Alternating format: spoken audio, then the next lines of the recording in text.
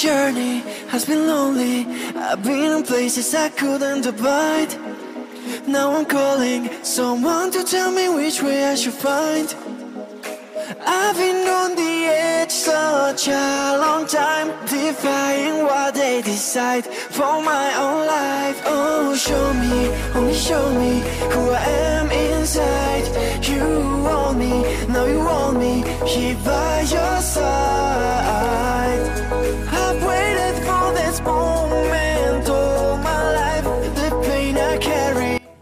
Halo guys, gimana nih kabarnya?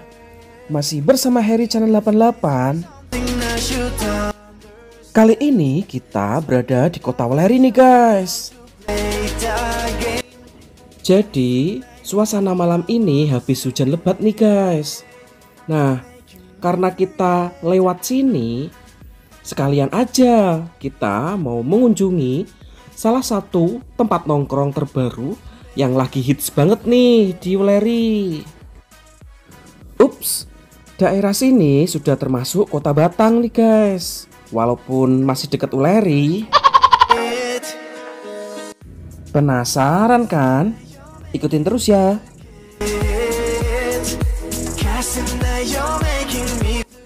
Nah, untuk masuk ke lokasinya kita harus masuk melewati gang-gang rumah seperti ini guys Namun tak perlu khawatir karena jalannya sudah bagus dan tersedia tempat parkir motor dan juga parkir mobil yang cukup luas. Ini dia wisata malam Jembatan Merah Kalikuto Tol Semarang Batang guys.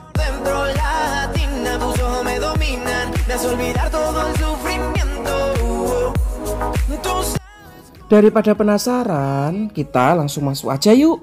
pain I carry I'm feeling it going far away. In this place there's something I should understand. Something that will show me how to play the game. Cast the night right here I wanna stay making me forget.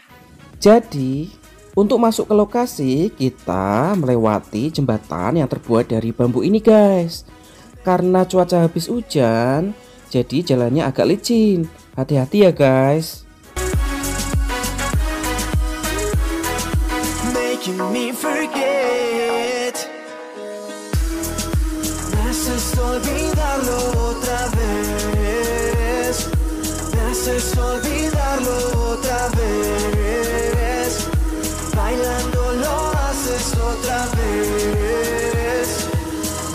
Haces olvidarlo otra vez. My journey has been lonely. I've been in places I couldn't abide. Now I'm calling someone to tell me which way I should find. I've been on the edge such a long time, defying. Nah, sesampai di sana ternyata ada beberapa depot makanan yang sudah tutup. Wah, sayang sekali ya. Mungkin memang udah malam dan juga cuaca habis hujan nih guys.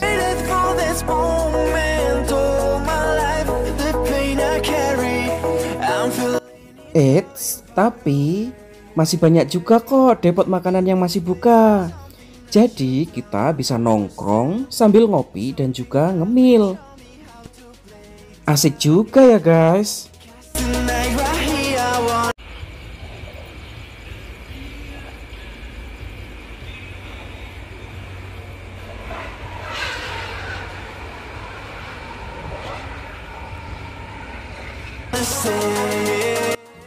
Wisata malam Jembatan Merah Kalikuto ini tepatnya berada di Desa Sambung Sari, Kecamatan Weleri.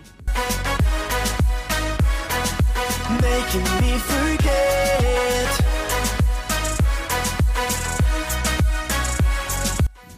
Jembatan Kalikuto kini menjadi ikon baru dari jalan tol Semarang Batang. Selain sebagai penghubung antar Kabupaten Kendal dan Batang, jembatan ini juga memiliki keindahan dengan warna merah menyalanya. Dan pada malam hari, warga sekitar memanfaatkan area sisi bawah jembatan ini untuk menggelar dagangannya.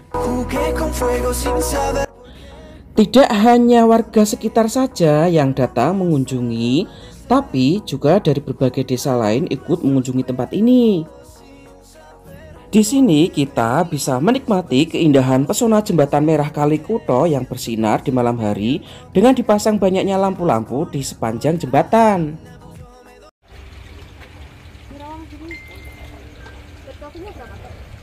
Berarti kamu? Aku. Ya wes sama aku toh dua. Ome? Hah, apa-apa? Eh,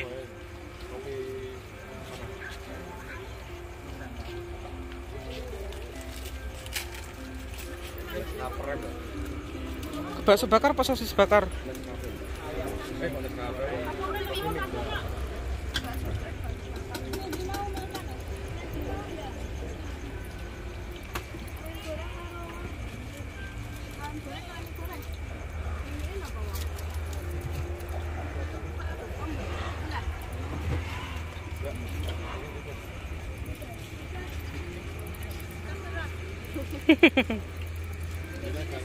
merah. Kalau jembatan merah itu berada di daerah perbatasan antara Jawa Jawa Tengah, cuman antara Kendal sama Batam. Ini, guys.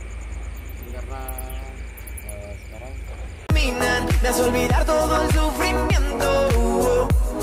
Tú sabes controlar mi Nah, jadi kali ini kita pesan beberapa sosis bakar dan juga bakso bakar nih guys. Pas banget di suasana malam hari yang dingin ini Kita nongkrong dan ngopi-ngopi sambil menikmati cemilan yang anget-anget Wah mantap deh.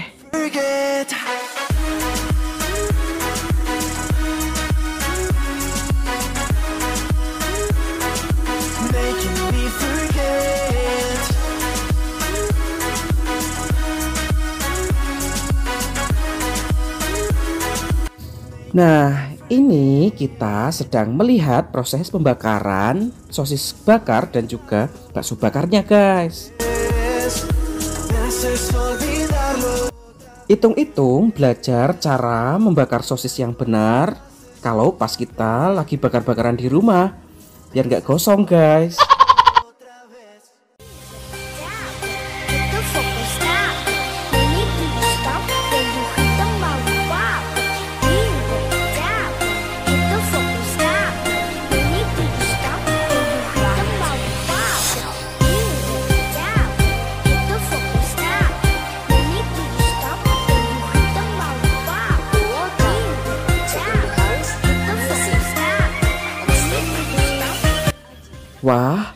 tempe mendoannya kayaknya menggugah selera banget nih.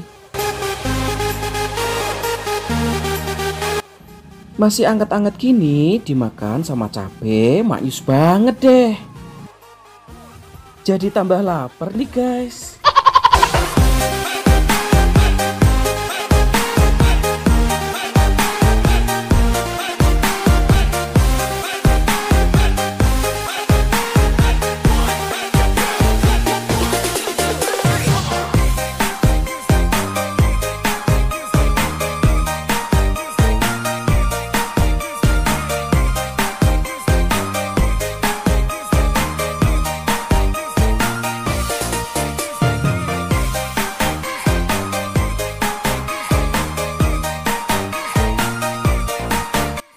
Nah, sosis bakarnya sudah mateng nih guys.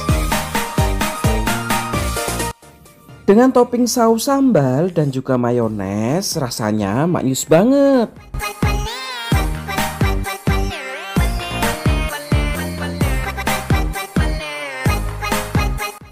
Oke, sekarang kita cicipin satu-satu dari bakso bakarnya dulu ya guys. Tercium dari aromanya sepertinya enak banget nih guys. mampu. eh ora ah.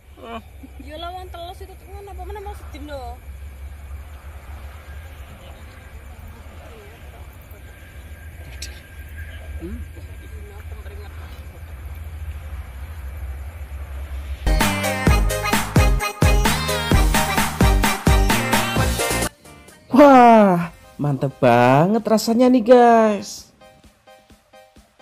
Rasanya manis, pedas, dan juga gurih. Mantep banget deh pokoknya.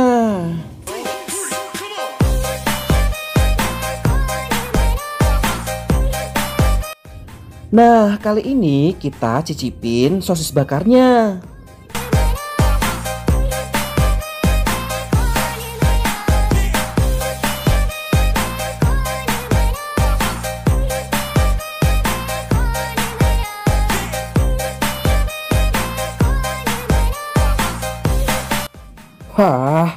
Enak juga guys. Sosisnya lembut banget. Cocok banget nih buat cemilan di malam hari sambil menikmati keindahan jembatan merah Kalikuto.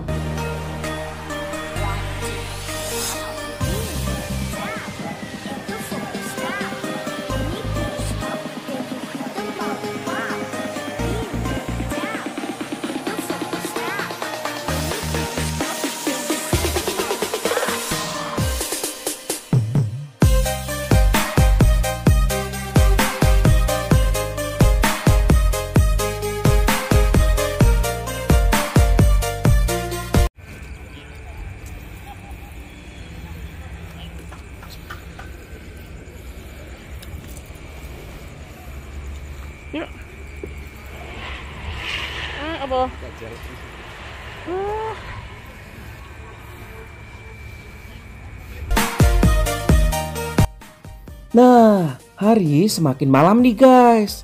Saatnya kita pulang. Saran saja bagi para pengunjung yang mau datang ke sini sebaiknya datang lebih awal. Biasanya di sini lebih ramai kalau sore hari menjelang malam hari atau habis isak guys.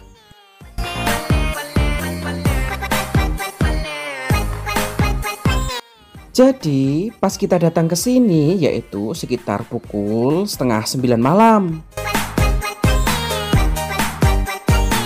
Walaupun gak ramai banget, tapi tetap asik kok buat nongkrong. Apalagi kalau cuacanya cerah dan tidak hujan, lebih asik banget guys.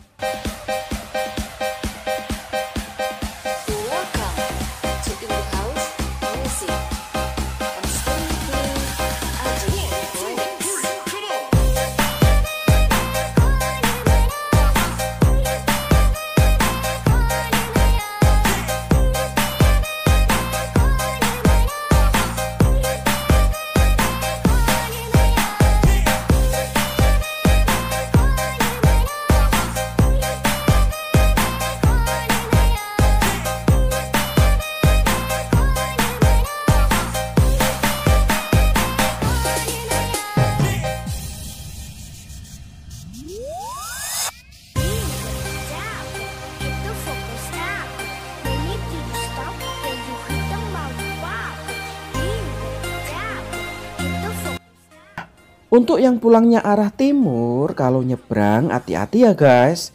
Karena banyak bus-bus besar yang melaju dengan kecepatan tinggi.